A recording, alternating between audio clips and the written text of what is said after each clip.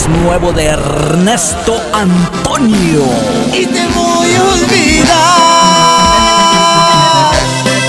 con modelos de la Es lo más nuevecito de Ernesto Antonio, disponible en todas las plataformas digitales.